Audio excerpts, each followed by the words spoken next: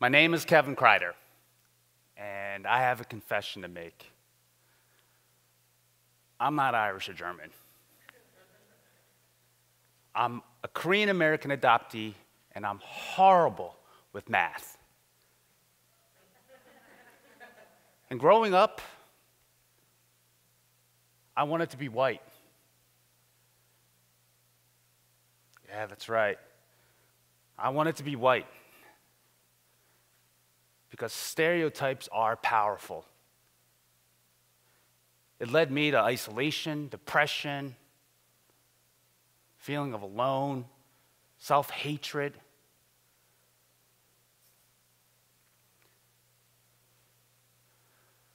Stereotypes.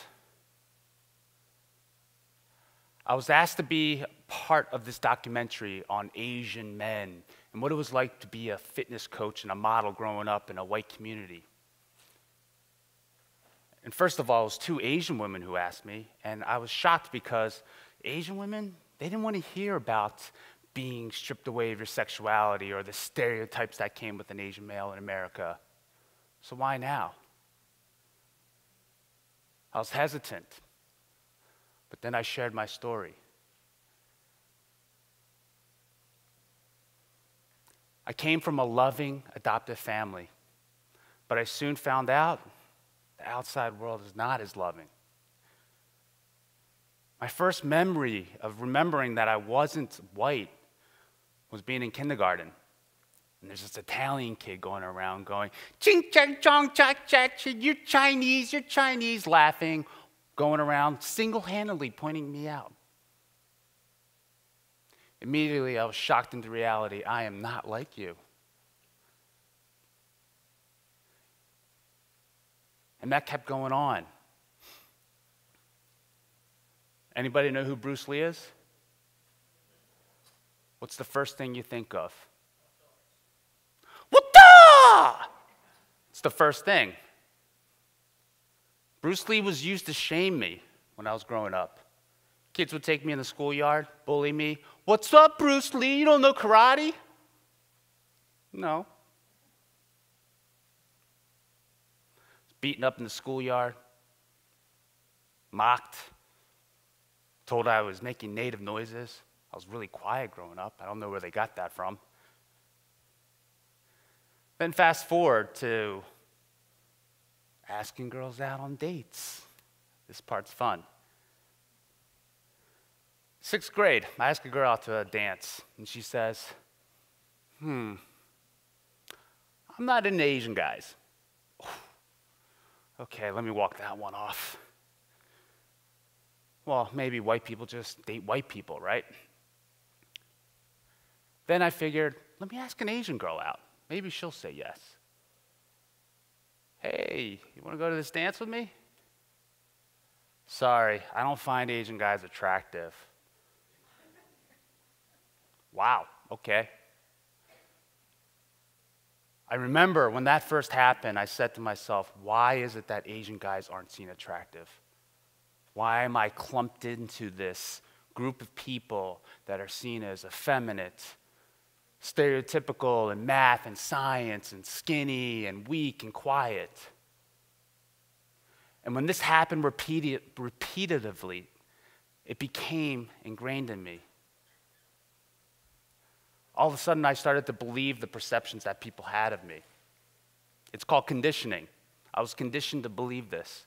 And then I got mad. I got angry at these Asian women because I was so hurt, but I didn't know how to express myself. So what do I do?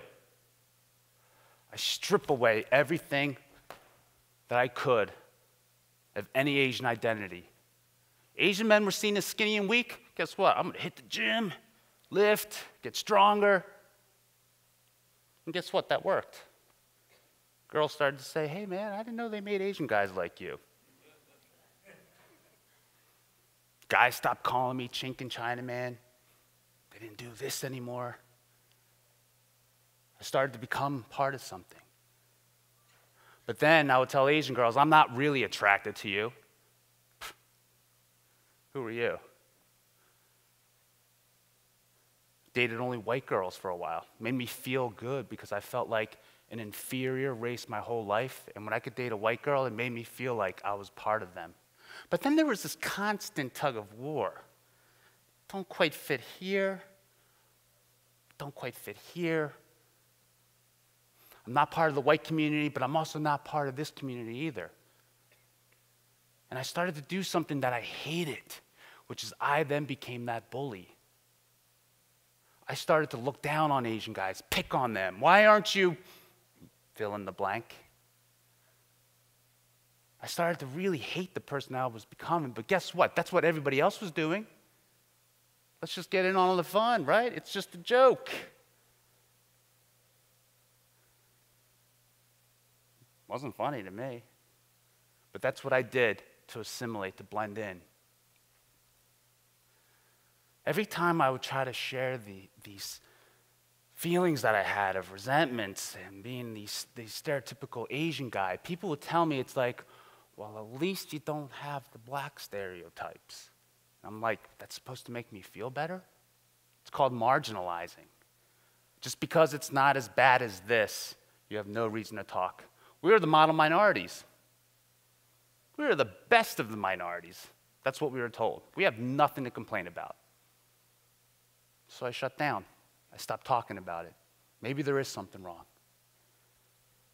But then things started to change. I saw my first, I guess you can call it a man crush, but he was an Asian guy who was signed by Ford Models. And he was tall, handsome guy, and he was going to make it. And I was like, wow, Finally, a sex symbol. If he can inspire me to feel good about the way I look and my identity, maybe I can do the same. So I go up to New York. I start this modeling career. Modeling has its own barriers. While other people are going out, I'm sitting home alone. Castings aren't right for me. I can go way too many details over this. But something that happens to me, I get very very consumed with a lot of self hatred. Oh, it's exhausting hating yourself, let me tell you. Drugs and alcohol, that's part of my story, covered up the pain that I was feeling. Because when I was drinking, I was part of you guys, especially St. Patty's Day. Oh, yes, I'm Kevin. I'm one of you. Looks ridiculous, by the way. I don't recommend it. But that's what happened. I started to hate myself. Stress starts to really hit at me depression, isolation, dating the wrong girls for the wrong reasons. And then it hits me. It's called alopecia areata. It's an autoimmune disease, stress induced hair loss. It's not a good look for a model, especially for an Asian guy. I was now the Buddha and Professor Xavier. Talk about not feeling attractive and then losing that making you feel even less attractive. I would say that was my rock bottom in my life. And what I did was decided to do this crazy journey, soul searching. Picked up a skateboard. By the way, I didn't know how to skateboard at this time. But I'm going to skateboard across the country. Some people said, that's Forrest Gumping. It's a great movie watch with my mom all the time. Maybe that's where I got the idea from, but I figured if I can survive this journey, then I'll get the confidence, the self esteem that maybe I was looking for. I can overcome everything. Or I'll die. Either one was a good option for me. But guess what? The third option happened, which was I lived and I didn't get that fulfillment I wanted. There was this burning hole in me that felt empty. Felt like nobody understood me. I had to change my action because I was hating the person I was becoming. I had to change my actions so I could change my trajectory of who I was and who I was becoming. And I'm sharing with you three things that I did that changed my life. The first was to create a safe space and environment for Asian men to talk about this. We've been marginalized. We've been told to shut it for a long time, by my parents too, even at times. I remember I was being called a banana growing up yellow on the inside, white on the outside. I took a lot of pride in that, actually. I was like, yes, I'm a banana.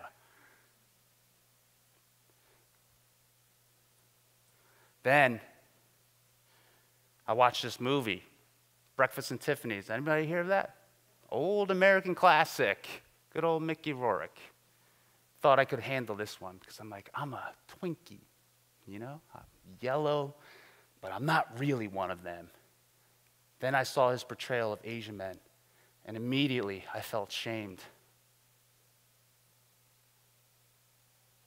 I was not happy with what I saw, and I felt horrible about myself. And I realized that people's perceptions of Asian men come from things like this, the way we treat each other, and I let it happen.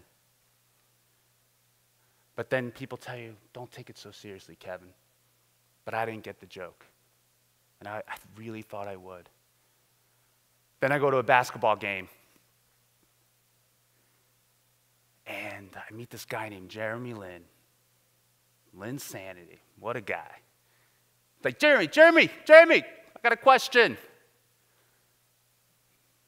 Did you ever come across that stereotype that Asian guys aren't attractive? Little awkward laughs. hee hee hee. I think they were expecting me to like ask him how he like dribbles and does all that stuff. And he's like, Yeah. And he shared a little bit. He said that Asian women, yes, are over sexualized. Asian men, we don't get the chance to talk about it. And he said we need to be able to speak about it and not feel shamed about it. And also, too, not to point fingers either, not to be resentful or blame other people as well. Take responsibility for ourselves. So I started doing that. I started to create these communities. I joined the American Adoption Association. I started to date Asian girls. And guess what? My life changed. I started to feel like a part of something instead of separate. The next thing I did, I know this is going to sound hokey, but I had to forgive myself. I had to forgive the person I was becoming, the bully that I hated.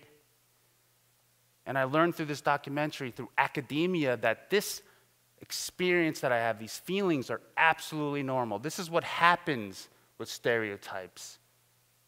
This is what happens to people growing up who don't feel confident about their self identity, their self worth, their self image.